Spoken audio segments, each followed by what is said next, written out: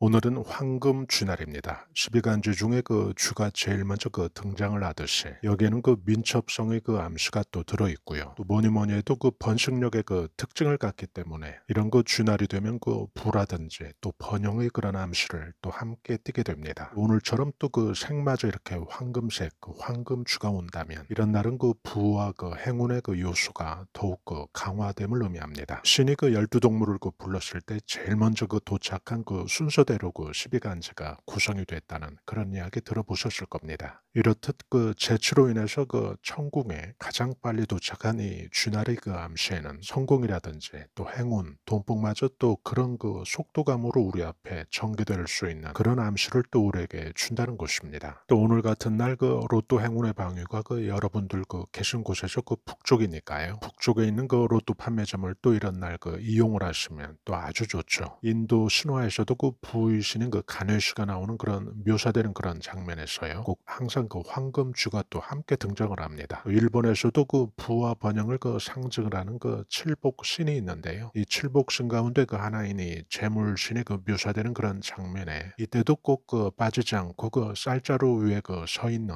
그 황금쥐가 나옵니다. 또 멀리는 그 북유럽 신화에서도 그 추수 축제 기간에 그 사람들이 황금주에게 그 행운이라든지 그 해의 그 풍작을 기원했던 그런 문화가 있습니다. 이렇듯 그 다양한 그 문화권에서 이런 그 황금주의 그 암시에는 풍요라든지 행운, 돈복, 또 상스러운 그런 길한 일들, 또 우리에게 그 희망과 축복이 될 그런 일들을 몰고 오는 그 독특한 그 의미 부여가 되어 있다는 것입니다. 이렇게 또 알찬 그 의미가 담긴 이런 날에 또 그 의미에 그치지 않고 우리들의 그 돈자루의 그 구체적인 그 수학으로 또 연구할 수 있도록 또 도움을 주는 이날에 주면 그 돈복 터지는 그 풍수적인 주문을 또 우리는 최대한 이용할 필요가 있습니다. 오늘 그 여러분들께서 그 해주시면 좋은 그 돈복 터지는 그 주문은 다음과 같습니다. 무자일 제복 증식이라고 마음속으로 두 번 해주시는 겁니다. 오늘도 여러분들께서 크게 그 돈복 불러드리는 멋진 그 금요일 보내시기 바랍니다.